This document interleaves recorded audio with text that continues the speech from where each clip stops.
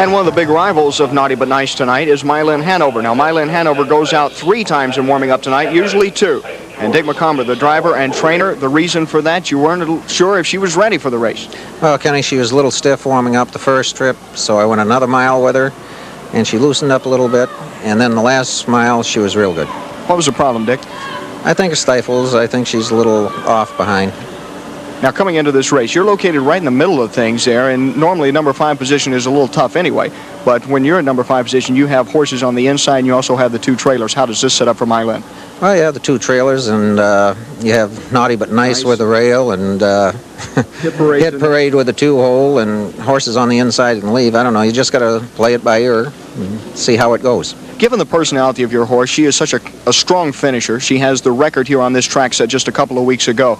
But uh, she has to get out early tonight, and she's in a tough position for it. How does the race set up for you to get that good position for that last fraction? Well, we don't know. We just have to play it by ear, see how they go. Uh, you can't really bust out of there. If you do, you're going to be parked. But it looks like she's going to be parked anyway. I just hope she's parked with cover. And she is in good shape, though, ready to go. She's real good right now. Okay, Dick, good luck to you tonight. Thank you. Thank you very much. Dick Macomber, the trainer and driver of Mylin Hanover. She had some problems early. Weren't sure if they were going to send her out tonight, but after that third warm-up, they said she was looking okay, and she is racing now. Sharon?